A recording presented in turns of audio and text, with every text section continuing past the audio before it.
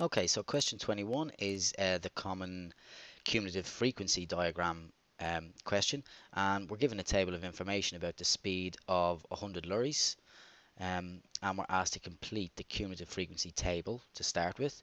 So in order to get uh, the next the next value what we do is we add on the previous one. So uh, so we're going to add 9 on to 2 to get 11 then we're going to add 23 on to get 34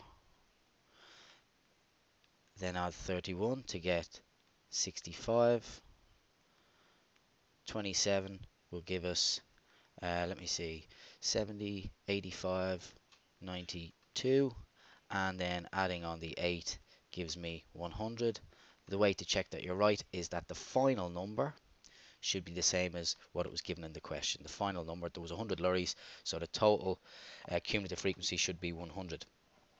Okay, next part, we're asked to draw a cumulative frequency graph from the table. So a couple of things to remember here is we always plot the upper bound against the cumulative frequency. So upper bound against cumulative frequency always. And okay, so let's start with that. 20 and 2. So 20 and let me see, that would be 10, which means that must be 2. Then the next one is uh, 11 and 40. So uh, there's 40, there's 10, that will be 11 there. Next one is 60 and 34. 60 and 34 uh, that's 30 there 32 34 um, 80 and 65 80 and 60 that's 70 so that would be 65 there in the middle. 80 and 65 um, 192 so 100 and let me see that's 90 there and that must be 92 always be careful of your scale. And then finally 120 and 100 uh, 120 is here and 100 is here. Now you can draw this freehand and draw an elongated S. Um, I like to do it using a ruler just drawing using straight lines. And we got to notice here that the graph must start from zero in this case because the, the very bottom speed was zero so we're going to start from zero. Okay so, and we just connect up the dots.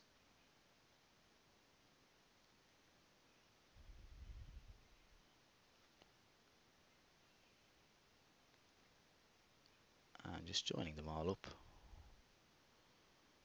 like so. And that's your cumulative frequency diagram. Okay, the next part, find an estimate for the number of lorries with a speed of more than 90 kilometers. So the number of lorries with a speed of more than 90 kilometers. Well, this is the speed of 90 kilometers. So let's see. Um, if I draw a line up to my graph, it hits here and read across. I can see that. Um, well, from the diagram, that would be 70. There, that's 80. So that's about 78. 78 people, roughly 78, 78 people.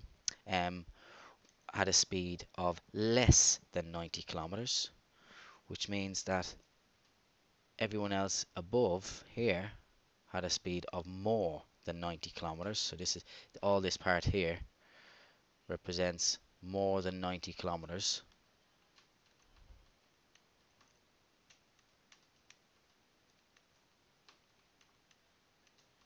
kilometers per hour. So what I do is I subtract 78 from 100 to get a value of 22. So 22 people had a value, uh, had a speed of more than 90 kilometers. So again, we did the total cumulative frequency, take away the number of people that had less than 90, which was 78, to get a value of 22.